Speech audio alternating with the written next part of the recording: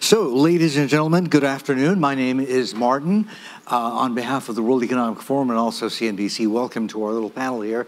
Uh, it's nice to see that uh, we're able to break down or break up into smaller groups like this because, uh, well, it, it, it, can be a little bit more casual, more uh, informal, a little bit more intimate.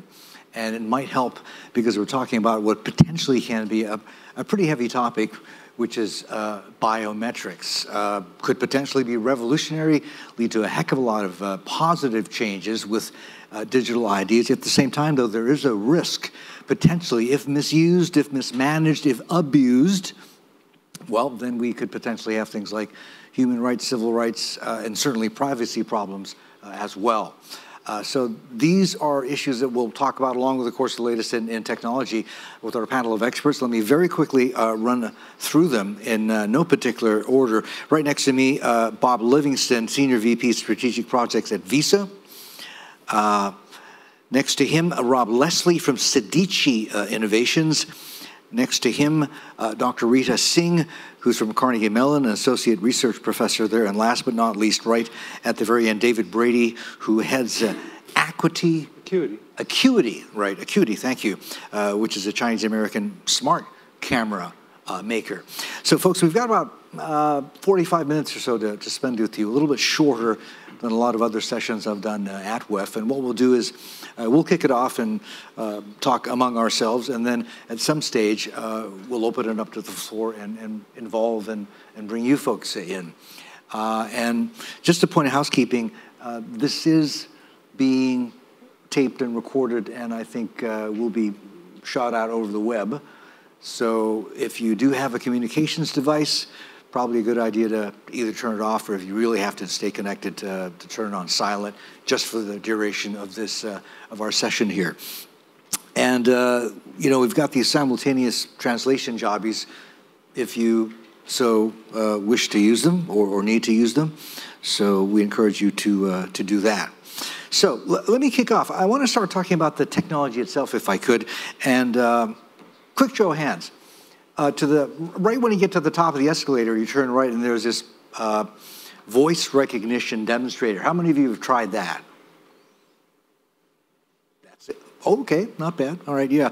I, have noticed the last couple of days that the lines have been really, really long. So I thought, okay, this must be really popular. I got to uh, check this out and try it for myself. So I did. And um, the lady just in front of me uh, tried it out, and uh, she read a sample prepared text uh, it, which got recorded. And uh, I was pretty surprised initially because it accurately predicted uh, her gender, okay, maybe not that hard, uh, her ethnicity, she was Caucasian, uh, her age range. So I thought, okay, well, this is pretty good stuff. And then it went on, though, to tell the entire line of people waiting behind her that uh, she had serious neurological issues and that she was mentally exhausted as well. At which point, I think the rest of the line just sort of turned around and went the other way. so, uh, no, let's, uh, uh, funny example, but I guess it, it speaks to the, the limitations of the technology right now. Uh, maybe I could just sort of run down the row, or whoever prefers to answer. At this stage, uh, we're pretty much well beyond fingerprints retina. We're getting into DNA biometrics, uh, voice recognition as well, and Dr. Dr. Singh talked to us about that. Um, what, what, is, what is the cutting edge right now in biometric technology? Anybody? I think there's a lot of uh, development work going on uh, around facial recognition. Um, specifically, the use cases, uh, you know, payments uh, uh, would be one. Uh, I'm, I'm, involved in the, the Forum's initiative for the future of travel. So the, the modernization of airports, uh, trying to get people through queues in, in airports, at, at borders, at security, so that you can move faster through those, those choke points. Um, and again, trying to identify you as accurately and as quickly as possible um, is, is one of the key objectives. Uh, uh, okay, so uh, understood. And uh, gosh, I tell you, uh, if you fly a lot, uh, you would probably want to see that technology work faster or better, more efficient. But what kind of technology is it right now? I could, I could take a swing at that. I mean, sure. the, the, number one thing, like some of the technology Dr. Singh is using around uh, neural networks, neural networks are blind to the actual modality. So the, the, the major innovation has been that uh, it's possible to combine multiple modes, visual, voice, uh, gait, um, many things together, and they can be combined in an integrated way. So usually the identification would be done in context. So before saying somebody was mentally ill, you might guess whether they're in a hospital or not. but, but by the ability to combine in context a lot of different markers together would make biometrics extremely accurate. How advanced is DNA biometrics right now? I know. Well, DNA, you have, you have to go to a lab. Would be, they would be extremely accurate, but it would take a day or so. Yeah. That's right. There, are biometrics such as blood flow biometrics that are also fairly accurate. And so at Visa, we've got a prototype where you swipe your hand through a reader and it just measures the blood flow and that identifies who you are. We also have payment rings that are uh, near field communication devices that can pay at any sort of contactless point of sale. And so you can imagine a future where you've got a ring measuring your blood flow and nobody else can ever use it. It's yours. How extensively used is it and, and where right now? Well, right now it's just in prototype mode, but you asked ah. about cutting edge. And so that's where it is. Okay, fair enough. It's in beta. And I mean, your space, uh, Bob, uh, payments, financial services, et cetera, that's been the industry that's been driving a lot of the development and change uh, in biometrics. But is it likely to, to stay that way? Other industries that could, that could take the ball and run with it, do you think? Well, I think payments is a very logical place for biometrics to start. It's an industry that really values security and also values convenience. And biometrics actually provides both of those in a very good way that consumers understand. Here in China, for example, we've got the most advanced market in the world where biometrics are used every single day when consumers are using their mobile payment devices and with WeChat or Alipay or the other uh, platforms identifying themselves at the point of sale with their thumbprint. But uh, to your question about where could it be used elsewhere, mm. this is really where biometrics, I think, converges with the Internet of Things, and where you can have any sort of device, any sort of object with a biometric reader, with a fingerprint reader, that then becomes a point of commerce mm. at the same time. We've, again, prototypes. We've got people who've got plastic cards with fingerprint readers on them. Mm -hmm. And so that's a traditional form factor, but you can imagine a situation where vending machines would have fingerprint readers. And then the real questions of privacy come into play. Where is the data stored? When is it centralized? When is it decentralized? When do you have actual payment and identity credentials on the actual device? Or mm-hmm. when do you have something that's masked or, or tokenized mm -hmm. so that it can't be stolen? So, uh, key question. I don't mean to get the backup of, uh, of our hosts here in China, but uh, what you're talking about is a massive uh, database uh, in China. How secure is that? Who has access to it? Well, uh, I think that's a question better posed to Ant Financial or to Tencent, which run Alipay and WeChat Pay. but as of right now, it has been fairly secure as a payment vehicle. Okay. Where that data exists beyond the actual process of payments, I can't say. Uh, Rita, let me bring you in. Uh, the voice recognition demonstrator I was just joking about a couple of minutes ago, that, that that's actually, uh, you're behind that. Yes. Uh, is the issue here that uh, this is AI driven, right? So the more voice samples it has or collects, the more accurate it can be. Was that the issue with the whole, you know, neurological disorders and mental exhaustion thing? Okay, so I maybe I, it was right, I don't know. But okay, um, may I correct you on one uh, point? Yeah. Uh, it, is, uh, it is AI driven, but it is not data driven entirely. Okay. So AI is being used to engineer the features that are then mapped to the parameters that we deduce from voice. So much of the much of the mapping and the accuracy of it depends on how well we are able to do the engineering to discover these micro features oh. from voice. So uh, the way people perceive AI now is just big data, throw big data at neural networks, and that's AI. That's not it. Mm -hmm. AI is, neural networks are just, just tools. But AI is really more than that. It's what you design with those tools, right? So much of the profiling, the technology that, that is being uh, demonstrated next door is called profiling humans from their voice. And it's all about deducing all kinds of information about you from your voice, mm. for which there are signatures in your voice, whether you're able to hear them or not. Mm. It's going to take a while to develop that to a point where it's completely accurate. And what you see there is a snapshot of where the research is right now. But it is really scary to think that your voice can really reveal so much Which leads me- about your voice, uh, about, about your, yourself, your persona, of and also your environment. So um, there are issues associated with that, Yeah. ethical issues. Yeah. Um, but more than that, I've been, um, I mean, I also have something to say about biometrics and the way we think about it, not just the voice profiling. Um, so we always, so we're talking about facial recognition, we are talking about other kinds of biometrics, fingerprint recognition. Mm-hmm. Behind all of that are algorithms that have been deployed. And those algorithms have shortcomings, right? And there are, and as an academic, I'm aware that there are, there are my colleagues and many groups of researchers around the world who are working on building adversarial systems that can attack these algorithms and cause them to give wrong results whether even, even if they don't have access to the innards of the system, even if they don't have access to the algorithms themselves, they can actually break into Google Speech Recognizer, and the examples are up on the web. This is um, a group in Berkeley that has done this. Could, can break into the Google Speech Recognizer and make it say exactly what they want it to say. So it leads to this question, the existing technology that's uh, being deployed today, Yeah. how secure or rather how, hackable is is, the it? techno- hackable is it in itself? Mm-hmm. That's an issue, right? Its accuracy is an issue, but they are two sides of a coin, Right. right? And we have to worry about that. And there are other issues involved, like ethical issues, which everyone is questioning Yeah. and everyone is aware of. Okay. So the short answer to my question, I mean, how, how fragile or secure are these systems to hacking uh, these days? I mean, what's being used, is it safe yet? No, No. No, no, no. Facial, Okay. uh, facial recognition systems can be hacked. If you go on to Google and search for papers that are coming up with newer and newer algorithms to hack facial, deployed facial recognition systems, you will find very good algorithms up there. So, David, that's So- your space. You make smart cameras, right? And she's saying, look, these images, digital images, can be hacked. True? Oh, definitely they could be hacked. I mean, it's an information system.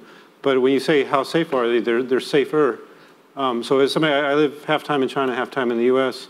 I've gotten four new credit cards in the US in the last year because my credit card was stolen. I use Alipay and WeChat all the time, and I'm, I feel very secure there. So these things can be hacked, but they're harder to hack than stealing somebody's credit card number. Okay, good to know. Um, let's bring in uh, uh, uh, Sedicii, right? Gaelic name. I thought it was Italian. What you do is what your company does is you uh, you build platforms that help people build their own digital identity. Explain how that works. So your identity is everywhere. And most of the places it is, you have no control over the information that's there. And most of the time, you don't even know if it's right or wrong. So we're building a platform that allows you to build a profile of, of yourself, where your information resides, and whether it is right or wrong based on what you say is your version of the truth. And we do that using a cryptographic protocol that doesn't require any exchange of the actual data itself. So your privacy is preserved at all times.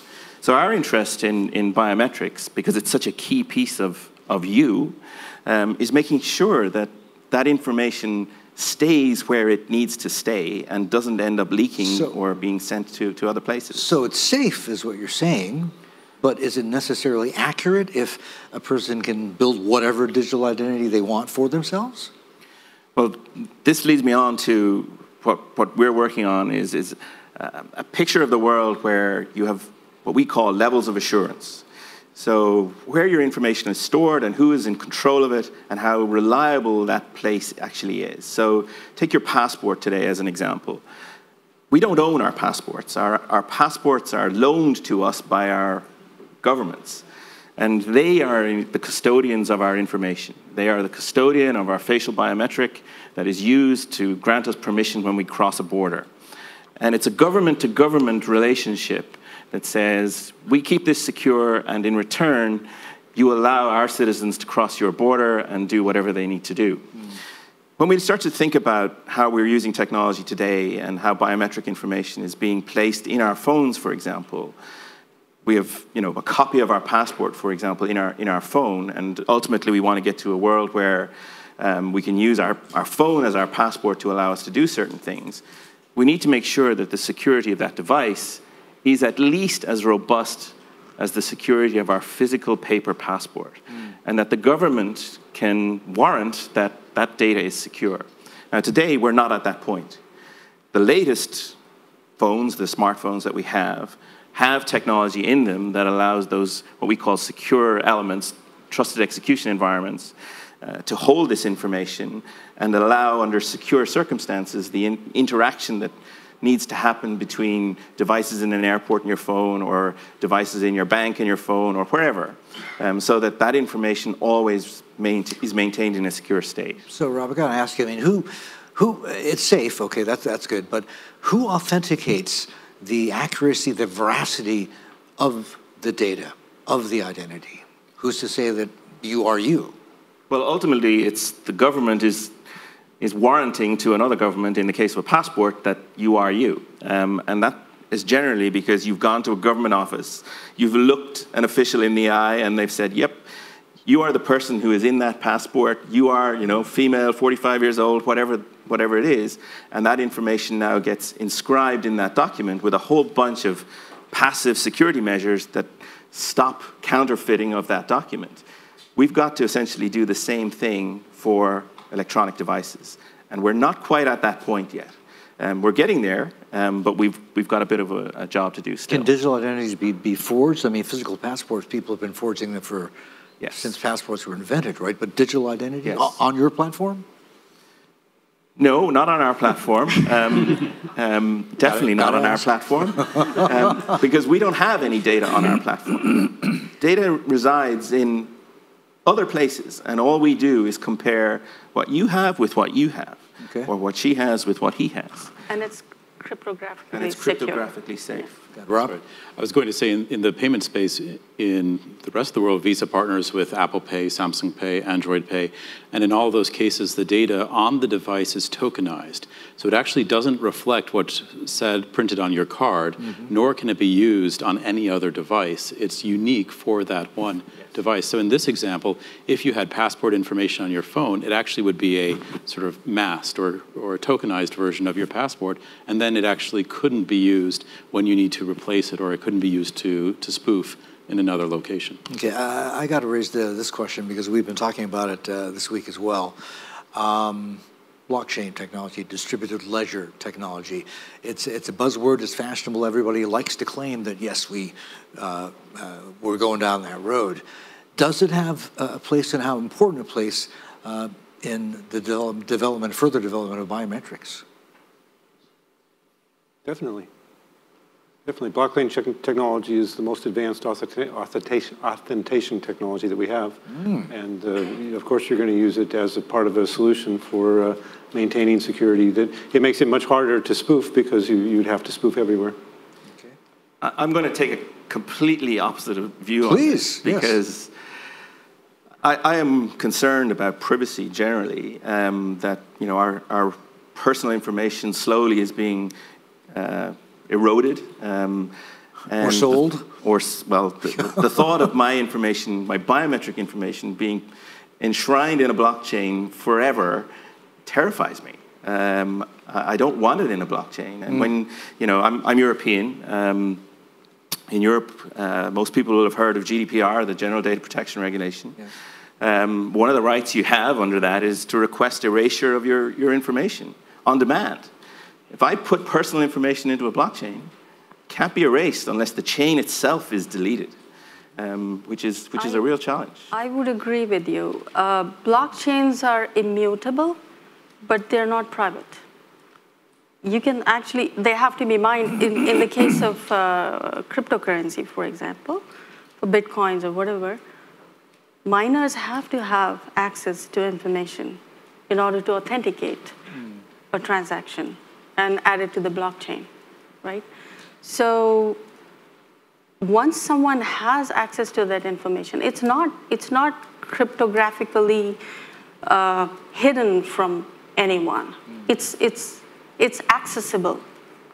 The only thing blockchain guarantees is that you cannot change anything in that chain once it has been added to it. Mm. So, and there are negative implications to that. Commercially or economically, I mean, blockchain is actually extremely expensive to, to execute. If it were used to develop biometrics further, will that hold it back? Will it, will it hold development back? Anybody? I think you're going to see blockchains developed um, in, in instances where they're, they're not as sensitive per se um, when it comes to sort of personal, very personal information. I mean, biometrics is the most personal information you can get. Mm. And I think they will be held in secure, very secure databases generally, in, in probably centralized uh, locations.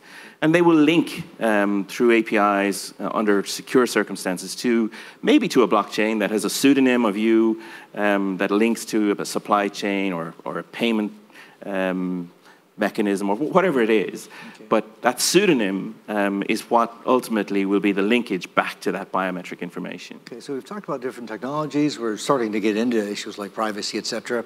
Uh, I want to get to a sort of a big macro question, something that we've been uh, covering and also talking about pretty much all week long, and that's how this whole uh, trade situation has kind of escalated and, and started blowing up.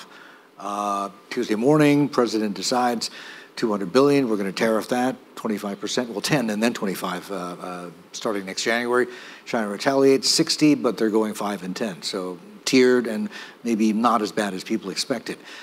But over and above and beyond that, trade, tariffs, et cetera, there's this whole uh, competition, uh, rivalry uh, uh, between structures, between systems of government, and also over competition over who's going to dominate technologies of the future behind things like the fourth industrial revolution, including AI, robotics, et cetera. David, I want to get you in on this because we were talking about this offline a couple of seconds ago. Does biometrics fit uh, in there in this competition, uh, in this rivalry. Uh, and you know, you make smart cameras, but you are a Chinese American company, so in a sense, it, it's kind of win-win for for you, no? Well, tension between the United States and, and China is not win-win for us. Um, the, we would uh, we would like to see the United States and China get along, and we're, we're talking about business. You know, the business shouldn't be so confrontational. Um, the development of, of these technologies is, is for the net uh, benefit of the world. Um, so I, I, think that it's not competition, that, that advances in China, advances in the US benefit uh, both countries. But it's not, the regulation is very different in, in the different countries. And so as we, as we as technologists or others imagine the ideal world, um, I think like, like for the government to pass, the government in Europe to pass a law saying you have the right to be erased, even if that's not technically possible, governments are coming up with ideas that are not consistent with uh, technological uh, reality left and right. And the idea that the US or China or Russia could control AI or could control biometrics, that's absurd. So, so governments will come up with these kinds of restrictions. As technologists, um, we can't build these things. There, there's things in China that you need, there's things in the US that you need. If you want to build advanced technologies, you need to work globally. And so, um, you know, you got to hope that the, the winds of government, you know, behave at the speeds that they happen, but uh, underlying relationships between people have to continue to grow. All right, so what you're saying basically is this whole rivalry thing is in nobody's interest. Uh, one, and uh, the approach uh, should be global. Are you also saying that it's kind of pointless trying to figure out or ask who is leading uh, in biometrics nationally, or even if it's even if it involves uh, the companies and where they're domiciled, whether it's the U.S. or, or, China? Well, you know, Dr. Singh talked about you know people can hack things at a much much simpler level. There, there's no way that one country is going to come up with an algorithm that the other country is not going to find out about. That basically this stuff, you know the information about how to do these things uh, moves literally at the speed of light. You know, that as it's invented in Shanghai, people in the west co east coast of the United States know about it 30 seconds later. Mm, okay. Uh, since we uh, started getting into uh, regulation already, let's uh, go down that road then. Uh, I know that David, yourself, and also Bob, you've got some pretty interesting and also strong views in the sense that because the, the rate and pace at which biometric technology is developing, it's kind of hard for regulation to, to keep pace, is that right? It's, it's very hard for regulation to keep pace. There are still laws in the United States, for example, that say that you have to sign for an account, and that actually exists in China as well with a new credit card, where you need a wet signature, and that's just not how the world is operating usually today. As in an ink signature. As an ink Yeah, signature, okay. right? There's a digital signature which works just as well. Mm-hmm. But I think that there, to your question about rivalry as well as this question about regulation, there actually are common sets of principles in terms of how something like biometrics can be used that almost every government is going to agree upon at a very high level in terms of if a customer, if a consumer is using biometrics for a commercial application, they should have control over when that happens. And the World Economic Forum, as an example, with the uh, Fourth Industrial Revolution um, Committee or Council, they have this, uh, we have this ability to start to create uh, a forum for different governments and private sector and academia to talk about what should those principles and standards be. And potentially that could help defuse some of this rising tension to have a common set of understandings about when and where uh, should biometrics and, and other sort of new technologies be used. Okay, so this would be sort of like a, be a, be a code of conduct It's uh, almost, then. it's almost like a code of conduct. Yeah, but, but not legally binding. No, it's voluntary. And, and from Visa's perspective, the best standards are always voluntary and uh, open so that they're used everywhere around the world. Nobody really benefits if you have a technology that you can use in China, but you can't use it in Brazil, right? It means that in a global environment where people travel, you're limited in terms of the applicability of it. So that, that ability to have something open and common is, is key. Okay, whatever the, these principles are that uh, eventually end up being agreed on, what happens when uh, the issue of sovereignty kicks in? What happens if uh, China, for example, uh, which is very much in the lead, as you suggested, uh, at least in, in terms of payments uh, with bi- uh, biometrics, what if they don't sign on? Well, that's a risk with any sort of international agreement, but I think we won't know that until we start to have that conversation and say what are all each government trying to ensure for their population in terms of how biometrics are used at that very highest level. As soon as you get to anything be, below principles, more granular than principles, there will never be agreement. How close are we to that sort of uh, agreement, deal, or even document? Well, one example is on the Internet of Things, which is a very amorphous term that can refer to almost anything, but is in many ways connected with biometrics. Uh, the WEF has a council that's uh, going to be established that's going to be working on that in the next few months. And that's, uh, that's coming down the pike. Will it actually have a real impact uh, in the next six months? I would doubt it. It's too soon. But you can't actually create common language and common purpose unless you start the conversation. How much input does civil society have in this, or is it having in this? I, well, the, uh, in the, the Charter of the World Economic Forum, it's very much to have all stakeholders present. So it is government, it is uh, commercial interests, and it's other representatives of civil society, whether it be um, NGOs or universities, et cetera. And Is it going to address the issues of uh, issue of privacy? It must. I think it should. I- particularly for biometrics, privacy is one of the most important issues. Right now, actually, consumers love biometrics in the payment space, right? So uh, when Visa does a survey worldwide, 86% of people say that they want to use their thumbprint or their retina in order to ensure that their identity isn't stolen and a transaction is fast. And everybody understands that. But as soon as privacy issues start to come to the fore, and they haven't yet on this front, that trust will dissipate. And we don't want that selfishly as a payments company that is, uh, that's relying on this. Okay, uh, is on on the technology itself, um, is it going to function something like the FAA to police whether uh, the technology works as advertised uh, on the box? Because I mean, any number of examples uh, a lot of people can think of or imagine where, I mean, the uh, if, if the technology gets it wrong, the, you know, the results could be pretty embarrassing uh, at the very least, if not catastrophic. I, I think for that specific example, that's actually too granular for a multilateral organization to try to Should be left to governments then? That- I think that that's something ultimately, when you're talking about consumer protection, Yeah. that falls under a traditional national government's purview. David, what do you think? I think the, the, the issue is you have to have the process to re- resolve issues when something goes wrong. That- so things will go wrong, and so it's really uh, getting to that level of uh, knowing how to uh, knowing how to fix it when it goes wrong. But we talk, uh, China uses uh, face detection and fingerprint detection at the borders. Um, recently, I, I came into China with a beard. With, with the beard, okay. Yeah, and you, you know, like you're not you, and you just there, there's a process to resolve, well, I could be me with a beard. And that, you know, it's not, it's not te the technology is not going to be accurate. It's going to get it wrong. So it's, it's did, like, it? it's like when somebody, the technology says you're mentally ill, don't immediately go to the hospital. Maybe get a second opinion. Did the technology get it wrong with, with the beard and no beard? yeah, they said they, it took me, uh, you know, 20 minutes or something to talk about that I could have be the same person with a beard. And you had to convince a human being. Yeah, yeah. Oh my goodness. okay, it might be a good time now to uh, try and bring some of you in. Anybody have a, a question? The only thing we ask is if you could uh, raise your hand. I think they've got uh, roving mics that'll come to you. So who, uh, tell us who you are, uh, where you're from, who you represent, and also who your question or comment is uh, is meant for. That'll be helpful. Anybody want to kick it off? Please, sir. Sure, just a quick question. Given that I have to give up my biometrics in so many places, right? My facial recognition is given up anytime I walk. Anytime I walk anywhere, to get into China, they took all 10 of my fingerprints. Yeah. Um, you know, you go through all these different use cases. Why should I trust that as a password now that it's effectively a shared secret that other people have? And who'd you like to answer that for you? Uh, anyone? Anybody? Have a crack? Have I a agree with you uh, completely. and, and that is one of the problems, is that you have a, sh- a secret that is openly on view for everybody.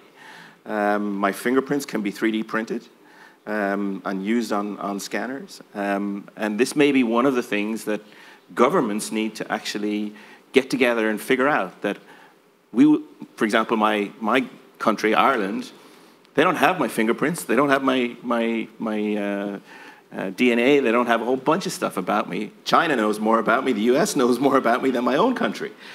But maybe you know, governments need to step up and say, we're going to take control of the biometric information of our own citizens, and we're going to make it available under secure um, processes and structures to those organizations who need access to it in the form of a token that can be used for a, uh, specific purpose, for a specific time, um, and, and do something along those lines. The danger is you end up with every country taking everybody's information because they think they have to have it.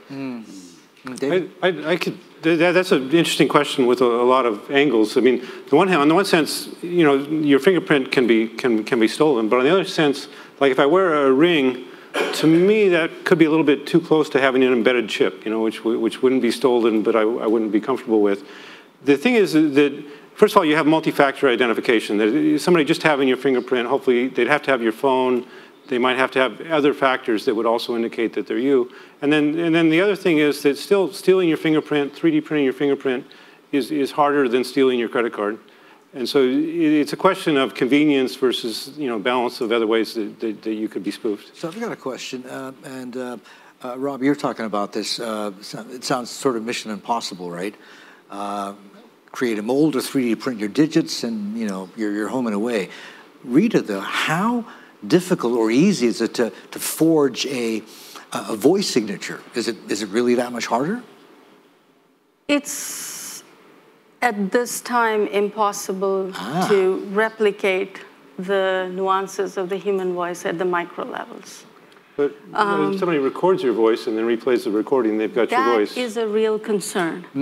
Once they have they have your voice, and we use our voice very freely because we are not aware of the potential um, of voice to identify us in many different ways.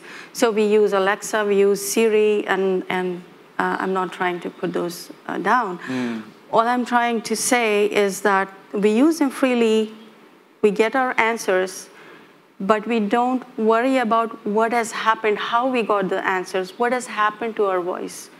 It's gone to some server. Has it been deleted from that server? Who has access to it? And what if tomorrow um, I want to use a voice based uh, authentication or verification system? Can I ever be certain that it will never be hacked will, by someone who has gotten hold of my voice print mm, mm. from that server? So I'm sorry? From this YouTube video, right? Or from this room. Um, eh, you know, uh, biometrics like fingerprints are very much within your control, and you can decide whether you want to give them out or not. Consciously, you can decide whether you want to give out your blood sample or DNA, but you cannot not talk. You have to talk. And people are walking around with phones that can record your voice at any time. Hmm. And I'm developing this technology for profiling humans. It's like, think of it um, as what X-ray is to medicine. It can look into you, into your persona. So pretty much anyone who walks by you, hears you speak, could record you and have access to what's happening inside you, and what can they do with it? Hmm. It's a worrisome thing, right? That's a um, scary thought. Anyway, yeah, Bob. And No, go ahead.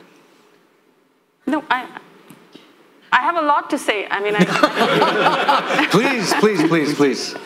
so um, yeah, a lot of people have brought this up, and as academics, there there isn't much we can do about it. But one of the things I worry about is we keep talking about the use of biometrics, protection of uh, identity, and so on and so forth. But the people whose biometrics we are talking about are, for the most part, not aware of its potential, be it um, face, DNA, fingerprint, whatever. The general person out on the road doesn't know how potent it is.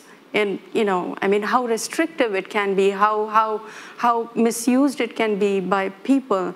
So they give out these things freely.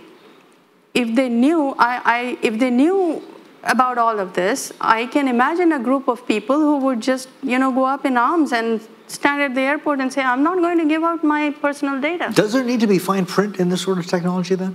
I'm sorry? Does there need to be fine print in this sort of technology then? So yes, people are. there is. There, and I mean, that fine print has to come in the form of awareness. Hmm. The media and as academics ourselves have to build that awareness in, in people and then use their information. Their information is like their money. And if they, if they don't know that they are giving out this valuable information, it's like stealing their money, right? Bob, does Visa do that? Uh, steal people's money? No, no, no.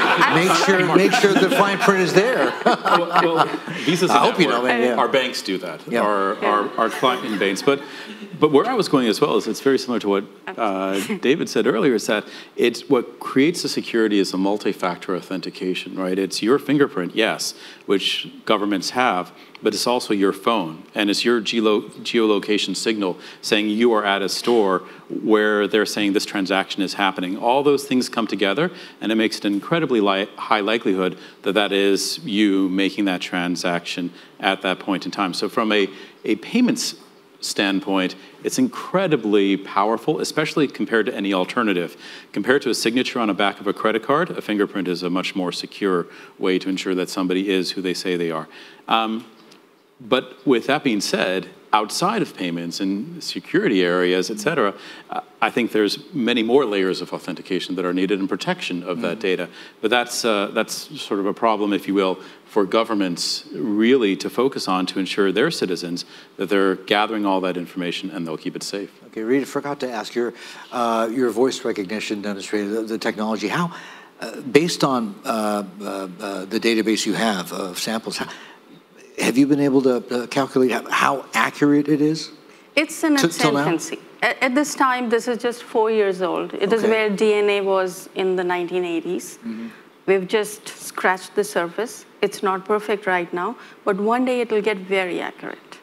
The, I have no doubt about that. Mm. Can you put a number on it now, though? How accurate it is? Uh, high 90s for High most high 90s Okay. for most of the parameters, All right.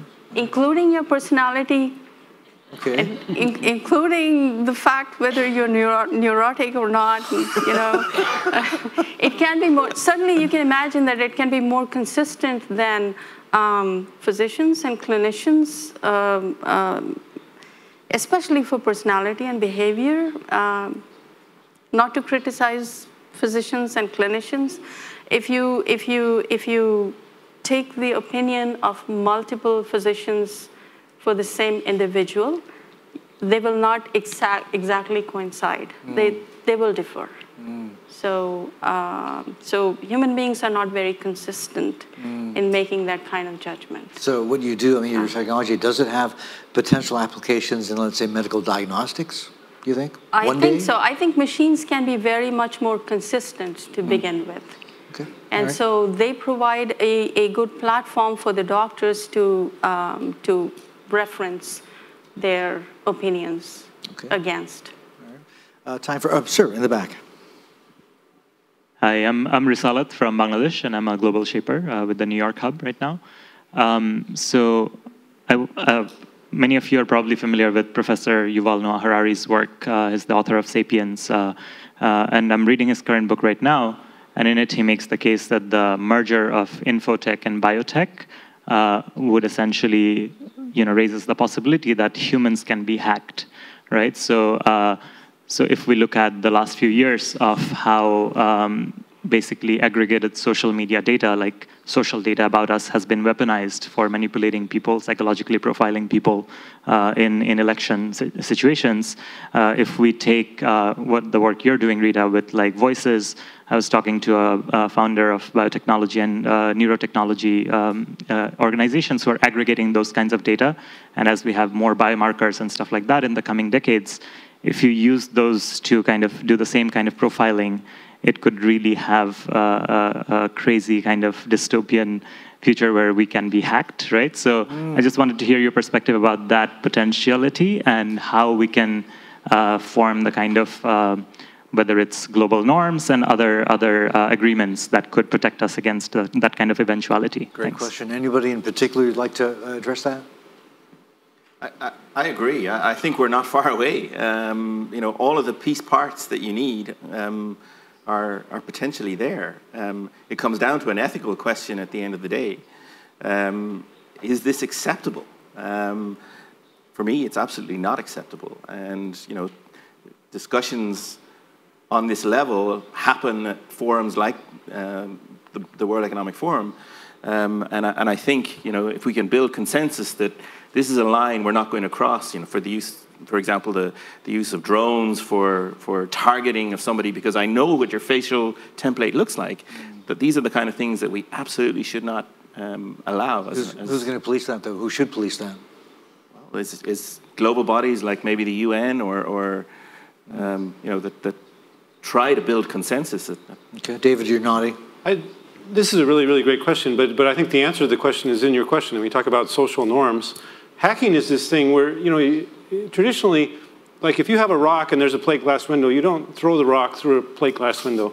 But somehow hacking has emerged as this thing where people feel like if a system can be broken, somebody's going to go break it. Yeah, but, that's true. But we don't do that because we're a society that works together, that social norms develop. So somehow we need to develop a social consensus that there are ways that people behave that involve protecting each other. And at the, at the core thing is that if people can be hacked, we protect each other so that if somebody is being bullied or being harmed or being, their, their identity is being stolen, we come together as society to protect them rather than just say, we're the kind of people where if somebody can break a plate glass window, they're going to do it. So not so much laws, but etiquette is what you're saying.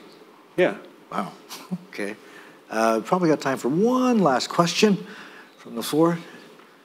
Anybody like to have a go, sir? Please.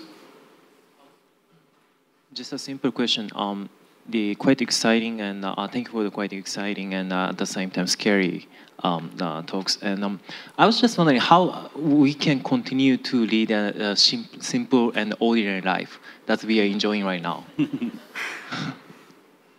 I mean, can we wear a mask and that will be the solution, or um, what else? I mean, good question. I mean, social media, in, in many senses, is, is a is a mask, right? Do you have a cell phone? Start by throwing it away. right. I don't have one. I think life is just going to go on getting more complicated. The more technology we have, the more complicated our life becomes. Uh, so we're just talking about biometrics, but there's there lots of other technologies coming up that are changing our lives uh, starting from smart cities to your Internet of Things and everything that affects your daily life. is in your room, in your bedroom, in your bathroom, everywhere. Um, is that going to make our life simple? Well, you'll have to change your philosophical definition of simple exactly. to, to get there.